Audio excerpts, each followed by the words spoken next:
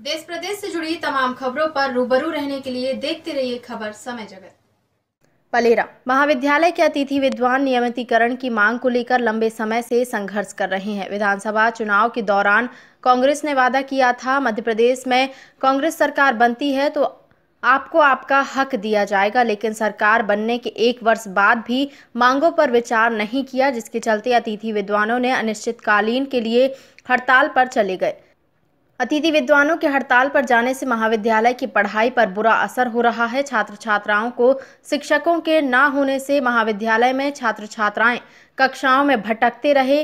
निशान छात्र छात्राओं ने तहसीलदार अनिल गुप्ता महाविद्यालय की हालात बताए, तब तहसीलदार अनिल गुप्ता ने कक्षाओं में जाकर छात्र छात्राओं को पढ़ाया और उन्होंने कहा कि जब तक ऐसी परेशानी है, तब तक मैं महाविद्यालय को ऐसे ही पढ़ाता रहूँगा और शिक्षकों को भी साथ लाऊँगा।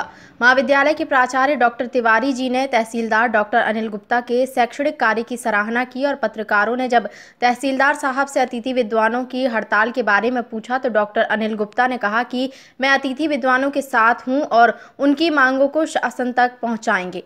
मेरा दायित्व है, मैं यहाँ का प्रशासक हूँ और साथ ही समाज में रहने के साथ साथ हर गतिविधि में अपना अपनी हिस्सेदारी चाहते हैं।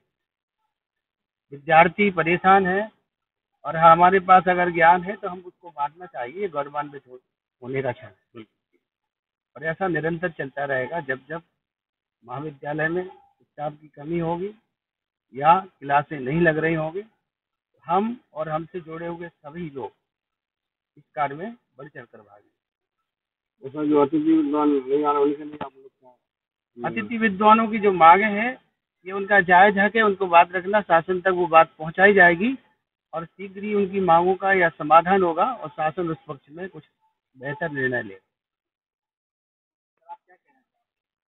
नहीं अच्छा है कुशल वो प्रशासक भी हैं और एक अच्छे विज्ञ जो है इंसान हैं तो वो हमारे महाविद्यालय में आए उन्होंने छात्रों की इस समस्या को समझा क्योंकि सभी अतिथि विद्वान स्ट्राइक पर गए हुए हैं। ऐसे में उनका आना एक स्वागत योग्य कदम है।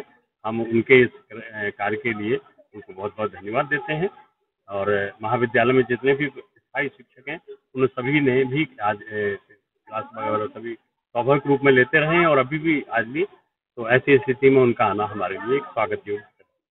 खबर समय जगत के लिए पलेरा से पुष्पेंद्र सिंह की रिपोर्ट। देश प्रदेश से जुड़ी तमाम खबरों पर रूबरू रहने के लिए देखते रहिए खबर समय जगत।